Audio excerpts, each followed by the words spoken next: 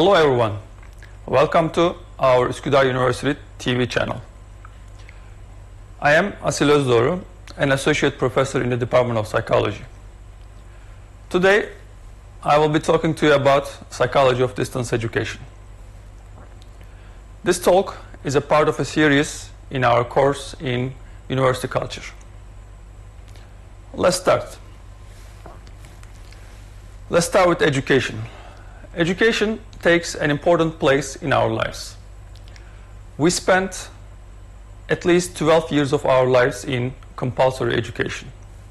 After that, we may move into universities, and when you add those together, it can take a quarter of our life spent in formal educational institutions. Every day, we spend certain amount of our times in education related activities.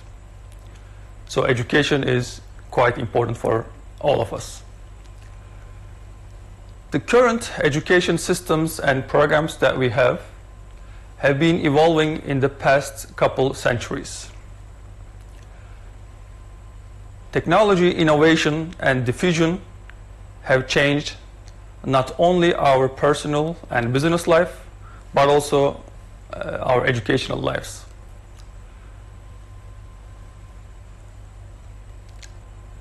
Education systems have uh, more and more uh, responded to the changes in technology and adopted and integrated more of these new technologies.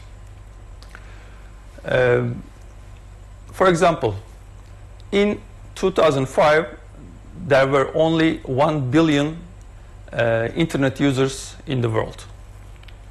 That number rose up to 3.5 billion in 2016, and today, as of 2019, we have 4.5 uh, billion internet users in the world.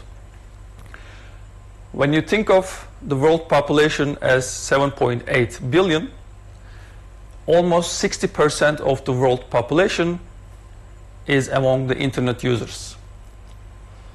With this increasing rate of technology use and uh, the use of internet in our lives, education systems have also changed and we become uh, more immersed in these uh, web-based technologies. So the traditional face-to-face education have slowly and sometimes like in this situation very quickly adopted these new technologies. These technologies allowed us to have distance education in uh, new ways because in the past, when distance education first uh, came out, it was mostly done through print-based technologies. Textbooks were sent to students, they would study the uh, books and they would send back the exams and so on and so forth. Then uh, with the radio and other uh, audio-based technologies, we had more and more uh, those sorts of things being used in distance education activities. Then, with the television uh, being used in the delivery of uh, distance education, which is what we are doing at this very moment. Uh, multimedia based distance education activities, um, they included uh, CDs and uh, those kinds of uh, computer technology is being used in uh, the educational activities. And more recently, uh, we have been using web-based distance education technologies, uh, which includes these online learning platforms and uh, environments. Um, distance learning is a larger term that covers e-learning, which is also called online learning, and that also covers uh, mobile learning that is shown here with M learning. And uh, diff different configurations of distance education can be set up by using these different uh, mediums and different technologies. When we look into um, online learning and use of online technologies in education, we see uh, this kind of a, a, continuum. It can range uh, from fully face-to-face education to fully online education. And in between, we might have uh, online technologies being used as classroom aid or uh, flipped learning or hybrid learning, which uses both online and face-to-face uh, components in the delivery of instruction. And uh, this semester, uh, we have started with a fully face-to-face education, but now we are doing a fully face-to-face uh, education. I'm sorry, we are now doing a fully online uh, education.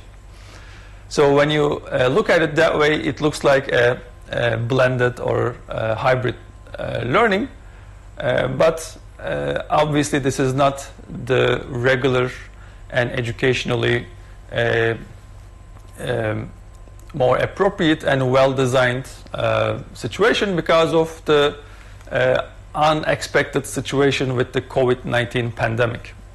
So uh, what we uh, were forced to move with this pandemic uh, was the use of existing um, online technologies in the uh, in our educational activities and uh, for that reason it is not uh, what would have been if this was designed uh, more of a hybrid or blended form of learning in the beginning. For that reason, educational technologists, uh, they uh, refer to what's going on in many educational institutions today in the world as uh, emergency remote teaching because this is an uh, emergency situation and we need to find quick solutions and online learning technologies and environments uh, were quite helpful in helping us to uh, come over this emergency.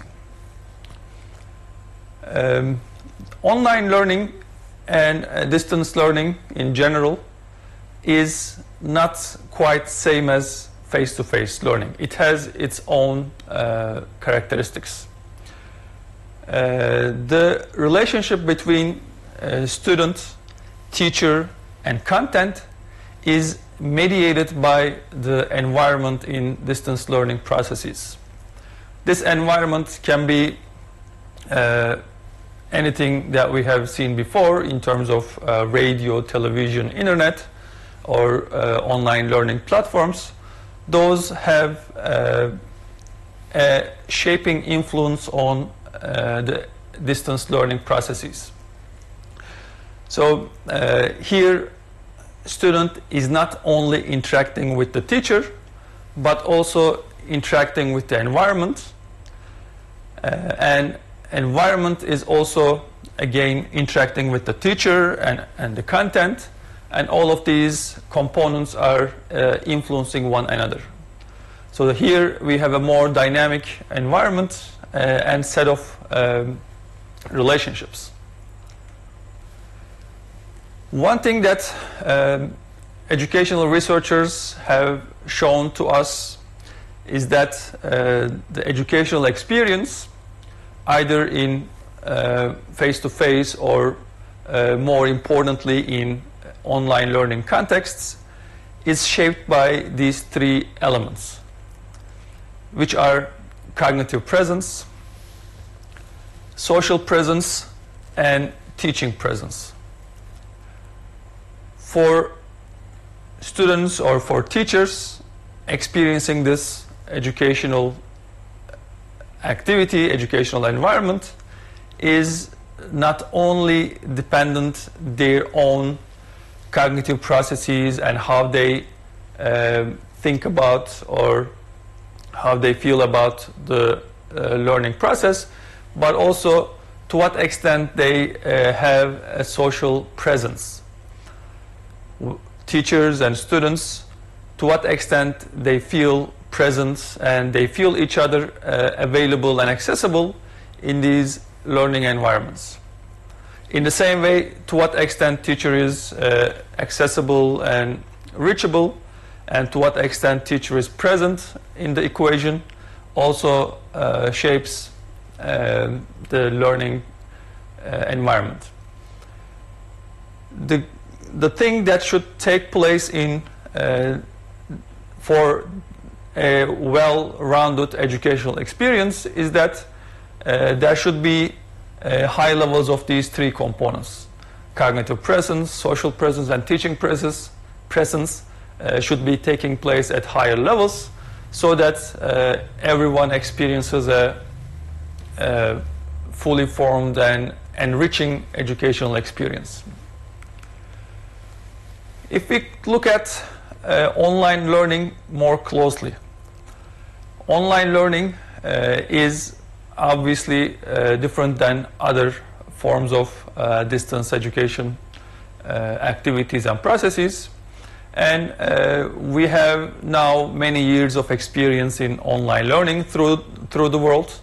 And online learning uh, is well studied and detailed by many researchers and scholars.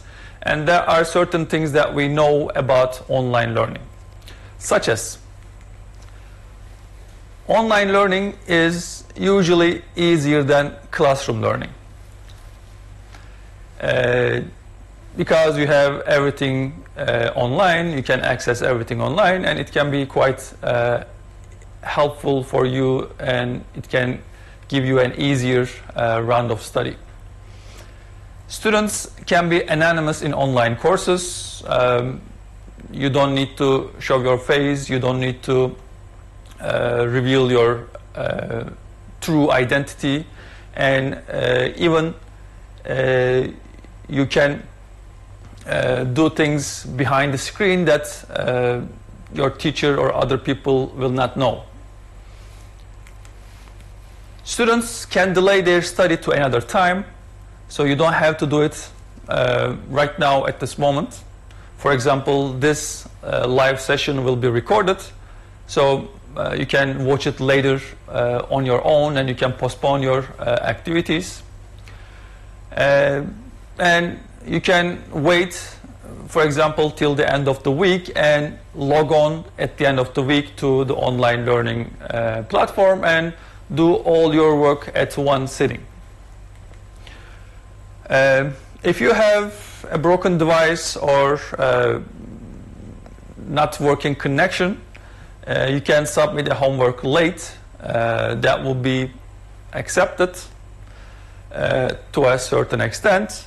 And um, you can, uh, one of the disadvantages is reported to be uh, students would be missing out on student resources that are available in the campuses.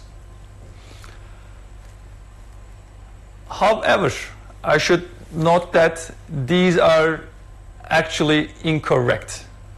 These are myths. These are misconceptions.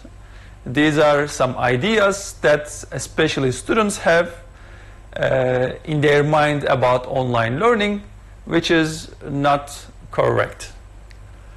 It is not easier than classroom learning. Students cannot be anonymous because everything is recorded in those environments. Um, it is not a good idea to delay your work uh, because activities are again can be time sensitive. Uh, it's again not a good idea to cram it in all one session uh, because you need uh, periodic sessions to keep your studies going. Uh, you cannot always uh, produce an excuse for your devices and connection and just submit your everything late. Um, there is obviously a certain level of tolerance, but uh, when you do it all the time, it can be problematic.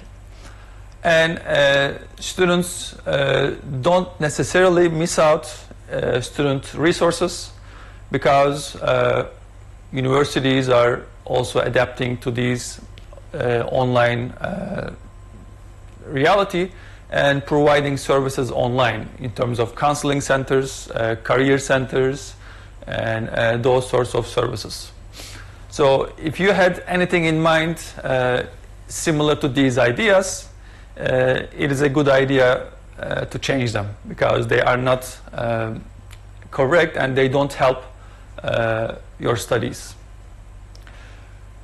So um, let's look into some of the essential and uh, necessary characteristics of distance learners and online learners.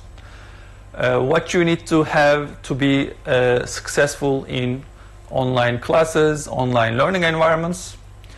Uh, the lists can be just stated with only self-regulation. If you need only one thing to be, uh, if you if you need only one thing uh, to be successful in online learning, or even face-to-face learning, that would be self-regulation.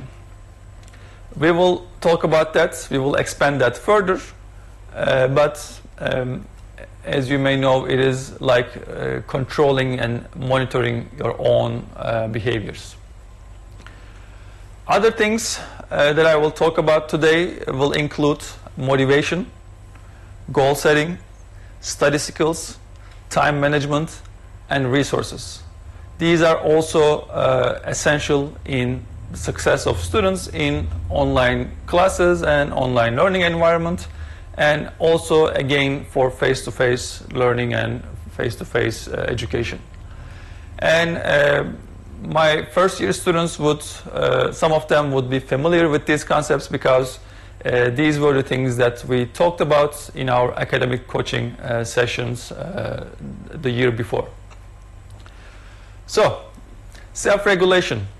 Like I said, it is our ability to control and uh, uh, manage our thoughts, our uh, emotions, our behaviors. and self-regulated learners are more successful in their education. What do we need to do to be more self-regulating? We need to plan, set goals, and also define some strategies for our studies. Then we need to use those strategies and we should uh, monitor our performance, uh, whether we are going in the way that we want to go. And also, after that, we would be reflecting our, on our performance. So it is, it involves also uh, checking yourself, testing yourself, and uh, reflecting, thinking about your own performance and uh, identifying weaknesses and shortcomings so that you can take necessary actions to uh, change those existing strategies and uh, improve your performance. And this is a cycle. Uh, you repeat the cycle every time uh, when you go into a uh, educational activity or a course or a semester uh, so that you uh, continually improve your uh, educational outcomes and performance. So uh, it is uh, our awareness of our uh, thoughts, emotions, and behaviors, and changing them in the good way to help improve our performance. Online learners, distance learners, and learners in general should have uh, self-regulation and also motivation. Motivation is a key concept in learning and my students would remember my favorite quote that I usually repeat in um, nearly all of my courses. Uh, it says, if you want to learn, no one can stop you. If you don't want to learn, no one can help you. So for us to learn, we need to have that desire to learn. And that is our motivation. Then how can we be more motivated? How can we make ourselves be more motivated? Uh, we first maybe realize what we need in this life. Because uh, as you know, according to Maslow's hierarchy of needs, uh, we have basic physiological needs for food and for sleep kinds of things. Then uh, we need to feel safe and secure. Then we need to feel uh, loud and belonging to a, a, group. We need to uh, satisfy our self-esteem needs. And at the highest level, we should be self-actualizing uh, our, ourselves. So uh, when we think about why I am doing this, why I am studying, why I am learning, uh, we maybe uh, we may need to realize what are our needs for doing this uh, education, for doing this activity. And uh, motivation can come from intrinsic and extrinsic sources. If you study to be a better person, it sounds more like an intrinsic motivation. Uh, if you study to get high grades, uh, that sounds more like an extrinsic motivation. And as you would realize, uh, studying to be a better person, uh, studying for uh, personal reasons, uh, can give us better outcomes, but extrinsic motivators are not always bad.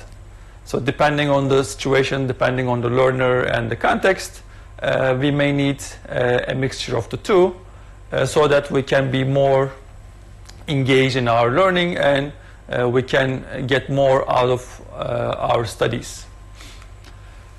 If you want more practical tips uh, in terms of how to motivate yourself, here is a quick short list of to do activities uh, if you want to uh, motivate yourself, such as starting each day fresh. So uh, I would recommend you to uh, not uh, uh, change your sleep cycle, continue with your regular sleep cycle, and wake up and start each day with a fresh face and fresh mindset. We should accept imperfection. Sometimes we can get low scores, sometimes we can be unsuccessful. That is fine, that is normal. Uh, we shouldn't judging ourselves very negatively. Uh, we should look at our progress, uh, how far we come since the beginning. Uh, that's important. We shouldn't always focus on the end outcome. If there are things that are blocking our uh, motivation and concentration, we can change them. Uh, we can get support from our family, friends, and uh, school resources. Um, and uh, it says fake it till you make it, which is like uh, you set your mind, and even uh, sometimes when you don't really believe it, if you just repeat it to yourself, I'm gonna do it, I'm gonna do it, I can do it, I will be doing it, that can even help you to do it. And uh, in more general, uh, having physical activity and physical exercise is good. And uh, we should always give ourselves credit and we should accept our accomplishments and uh, give ourselves the due credit because we are usually very harsh on ourselves goal setting is the another one of those concepts important in online learning and learning in general. And as you've seen in self-regulation, we need to be able to uh, setting those goals uh, and working on them uh, properly so that we can reach those goals by the time uh, we want them to be accomplished. Goal setting process can be uh, something like this. Um, we can start with the end result. Uh, where do we want to see ourselves uh, by the end of this year? I want to be uh, a student, a student with uh, this level of performance. Then we can or we should start uh, drafting some goals and create some SMART goals. Uh, I'll show you what those SMART means. Uh, writing those goals down uh, step by step, creating an action plan to accomplish those goals, uh, creating a timeline when, by when we will accomplish each step, taking action for every step of the way, and reevaluating and assessing uh, whether we uh, accomplish those goals and targets is part of the goal setting process. So, um, setting SMART goals. SMART is actually an acronym. an acronym for specific, measurable, achievable, realistic, and timely. So our goals that we set for ourselves should be smart in that sense that they should be specific. I want to be a good student. That's not specific enough. What do we mean by good? Uh, do we have a certain um, uh, GPA in mind? Do we have uh, a certain program in our mind? Do we have a, a comparison in our mind or comparison with ourselves or with other people? So we need to be more specific and it, it should be measurable. Uh, how will you know when you have reached it? So um, if you have specific targets, uh, measurable uh, targets in your goals, uh, that's better.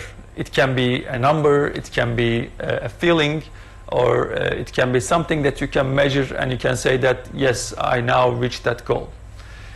Those goals should be also achievable. If you set a goal for yourself that is too high, uh, you may not be able to achieve that goal.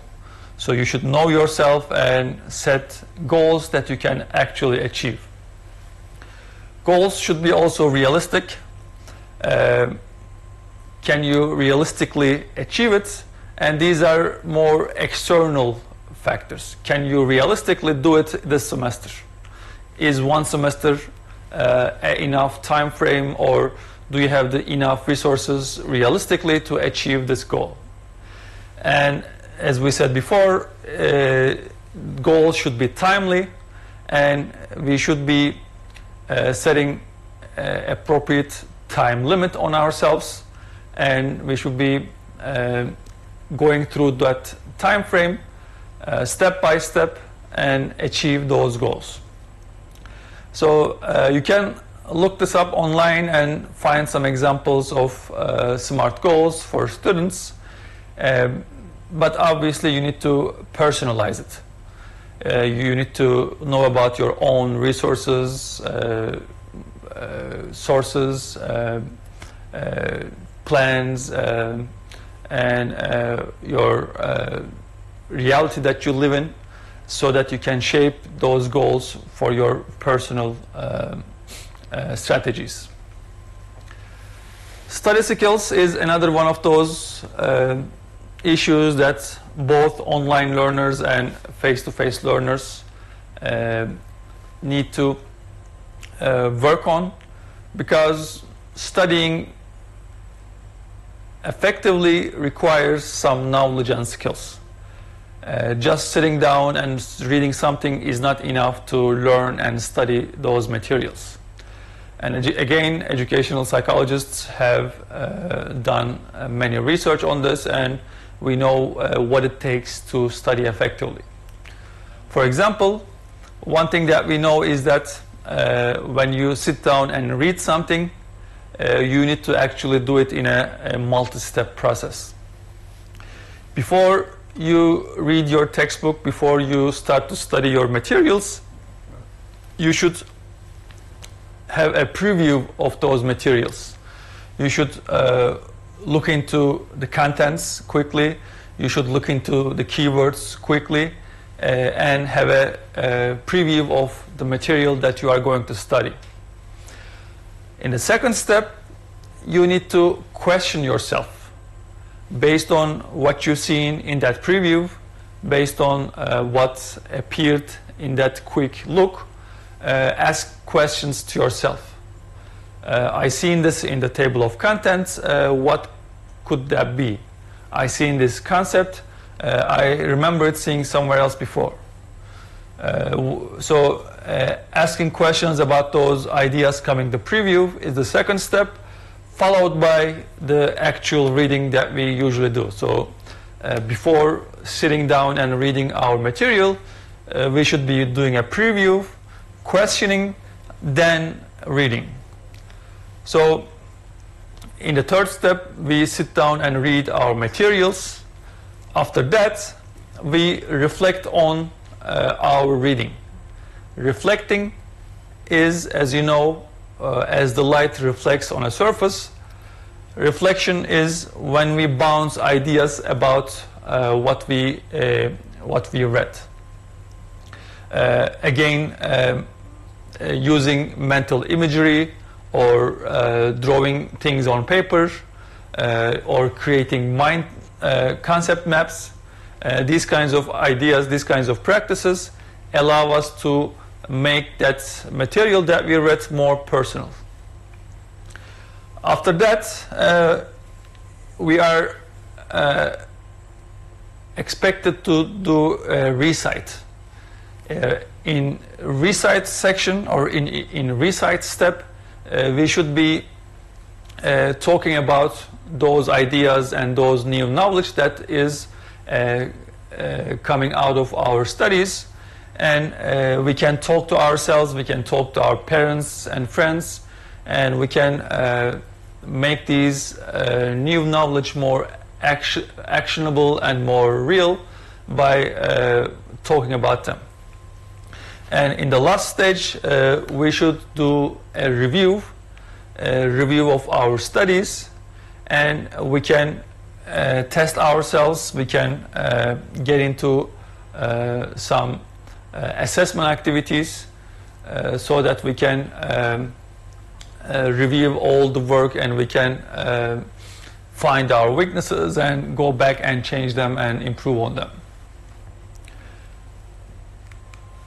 If uh, you want other strategies or other skills to be a more effective uh, student, uh, these are also general study skills that are shown to be effective, such as self-testing. Uh, sometimes we just sit down and read and read, but we don't test really, we don't really test ourselves. Uh, solving quizzes in our textbooks, uh, going online, finding some tests uh, or exams or activities to uh, test our understanding is essential and needed in effective study. Uh, and uh, we should not, like in those myths, sit down and study all in one session. We should be uh, distributing that practice a couple times a week or every day a short amount of time. Uh, when we study, we should engage in elaborative interrogation, which means uh, asking many questions uh, repeatedly and even some silly questions uh, like a four-year-old child would ask. So interrogating yourself, interrogating the content that you want to learn is uh, also needed in effective study skills. Self-explanation. How do I know? Uh, try to explain yourself as we have seen in the reflection uh, step in those PQ4R method. And in, uh, as another strategy, uh, when we have uh, distributed practice sessions, we should interleave those sessions. So what we studied in the last session should not study there, should not stay there, and we should combine it with the current session and uh, uh, view them as if, as if uh, we view a dress or a, a, a nut. Another important skill or another important uh, characteristics, another important characteristic of effective learners, again, both online and face to face, is time management. Especially in this time of pandemic, uh, we have lots of time on our hands and if we don't plan that time if we don't use that time uh, effectively that time can be maybe uh, misused.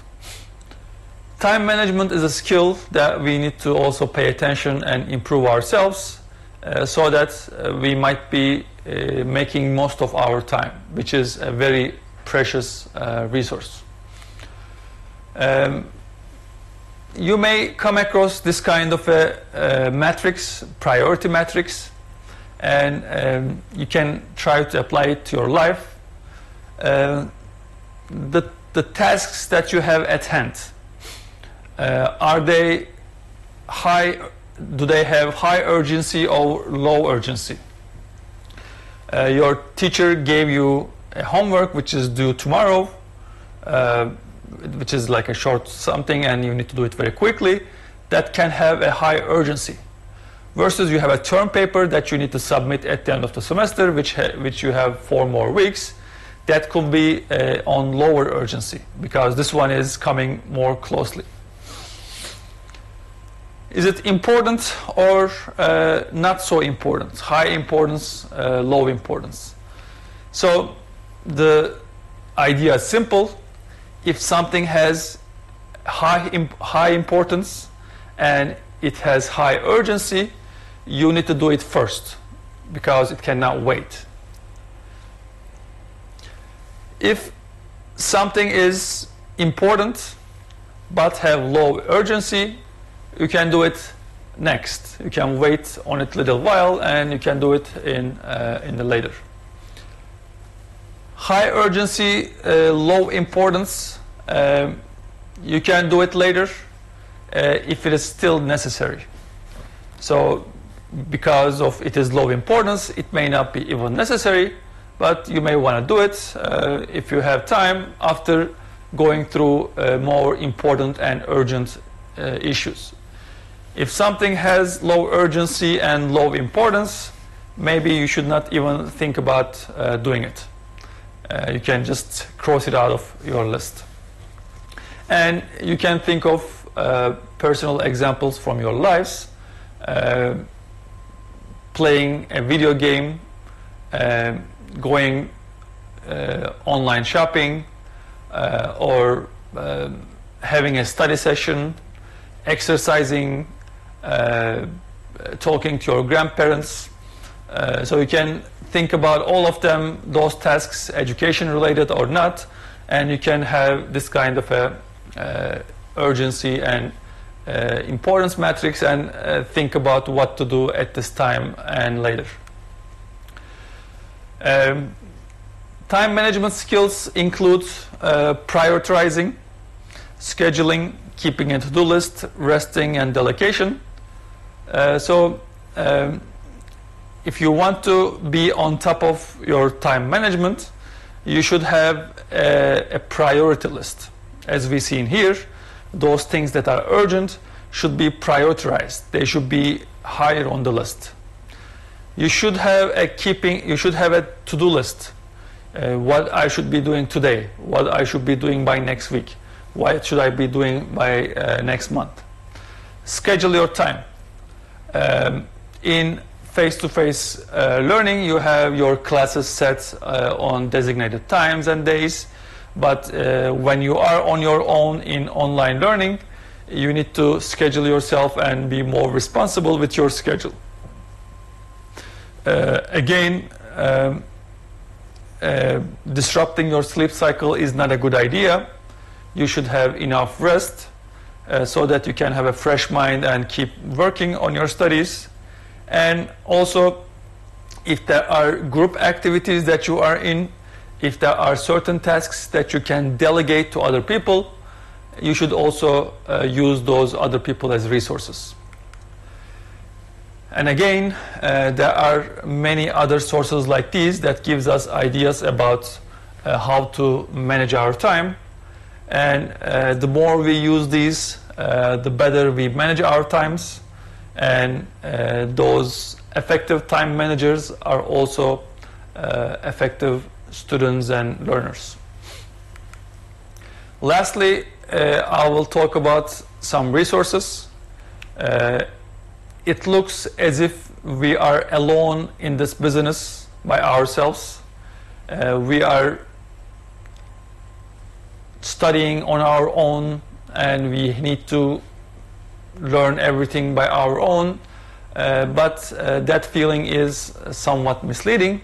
As much as we are responsible and uh, we are the first person uh, engaging in these activities, we have other people uh, that we seek, that we can seek resource, such as our professors. Uh, we are teaching you several courses. We have knowledge, expertise, and skills in helping you out with your needs. So you can reach out to your professors and ask questions and be more participating in the classes uh, so that you can make uh, most of your learning. Your classmates, they are always full of ideas, full of knowledge, full of creative things. So uh, connect, uh, communicate with your classmates even in these online environments. Uh, because now we need it more. As you see in the community of inquiry model, uh, social presence, that feeling of social connectedness is even more valuable in online learning. So your classmates are uh, now more important. Connect to them and uh, establish clear and uh, uh, effective communication channels. Because if your communication is not clear and effective, you may have also miscommunication, and that can also give you uh, lots of misinformation. Uh, your library is open, your library staff, your other school staff is available. You can reach out to them, you can connect with them and ask for resources, articles, books, uh, educational uh, materials. Uh, so connect with them. Your academic advisors, as always, there to help you with academic decisions, which classes to take, which programs to enroll, masters, higher level studies, uh, so you can consult them about those academic uh, matters. Like I said, our university is uh, an all the universities are operating, uh, even in this distance education uh, mode. And uh, you can seek resources from our uh, health, culture, and sports uh, directories. Uh, you can find ways of engaging in healthy cultural and sportive activities, even in your homes. Counseling centers, career centers, those are also available and they can give you uh, services at a distance. Uh, administrators in schools and uh, other institutions can be also helpful in some uh, bigger problems that you need to deal with. And uh, again, your family, friends, and relatives can be helpful in uh, solving some of your problems. we need to seek out those people and those resources to uh, overcome our problems and uh, solve our uh, problems. Uh, and as you see in this uh, wheel of well-being, uh, for us to feel well, for us to feel psychologically functioning, functioning uh, we should pay attention and improve all our uh, areas of functioning. Academic studies, school is just one of the uh, many components of uh, well-being. So we should uh, pay attention to our physical environment, friends and family, romantic significant others, our financial matters, our physical and psychological health, uh, fun and recreation, physical activities and having fun, and uh, doing things to improve our personal growth. These all will uh, give us a better uh, level of well-being and we need to uh, support all those areas of well-being. So don't think yourself as only a learner or a student. You are a, a full person with all of these areas and you need to invest your time and resources to improve your well-being in this uh, time of especially pandemic. Okay, uh, that's pretty much uh, all I had in mind to share with you. As uh, many of you know, I usually finish with this uh, kind of ending uh, because uh, there is always more to whatever we say and whatever we want to learn. And um, on this issue, if you want to have more, you can contact me or you can look up some of my resources and find more about these issues and concepts. Uh, and again, if you want to learn uh, no one can stop you, and if you don't want to learn, no one can help you. We should be wanting to learn, we should be setting our minds on our goals, we should be using our time effectively, and we should know about ourselves and uh, regulate our uh, thoughts, feelings, and behaviors so that we can be the best version of ourselves. Uh, that's all I got for today. Uh, thank you for being with me, with us today, and I hope to see you around. Uh, take care and bye bye.